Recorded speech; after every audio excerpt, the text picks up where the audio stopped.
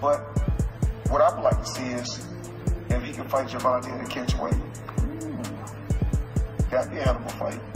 Floyd Mayweather le lanza el reto a Naoya Inoue para pelear contra Gervonta Davis en un peso pactado, algo que Gervonta Davis también ya había manifestado en el pasado que estaría dispuesto a pactar un peso para pelear contra Naoya Inoue.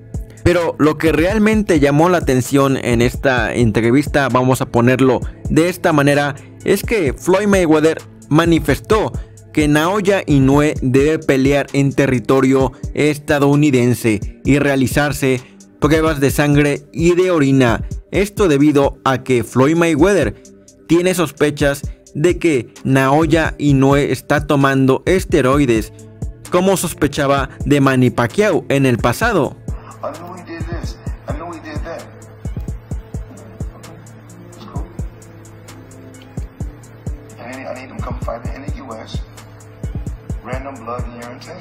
Ahora, pues la pelea entre Gervonta Davis y Naoya Inoue en un peso pactado, pues hay que ponerlo de esta manera. En estos momentos no tiene mucho sentido debido a que Gervonta Davis tiene mucha competencia en su división, en las 135 libras. ¿Por qué Gervonta Davis estaría peleando con Naoya Inoue en estos momentos? Pero si Naoya Inoue continúa con su ritmo de estar subiendo de divisiones como lo hizo Manny Pacquiao, donde se ve cada vez mejor en cada categoría de peso, entonces sin duda a todos nos encantaría ver esa pelea.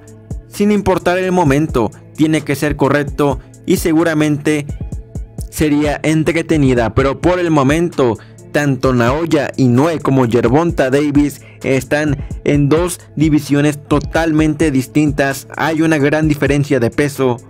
Para pelear con Gervonta Davis de inmediato debería probar las categorías de peso para ver cómo se siente, si va a tener el mismo poder o no, si va a llevar su misma velocidad o no. Esas son preguntas que se tiene que responder antes de pelear con Gervonta Davis. Pero lo que dejó en claro Floyd Mayweather es que una pelea entre Gervonta y Naoya Inoue puede suceder fácilmente en un peso pactado y dejó entrever que tiene sospechas en que Naoya Inoue no es un peleador honesto, pero manifestó que es un gran peleador.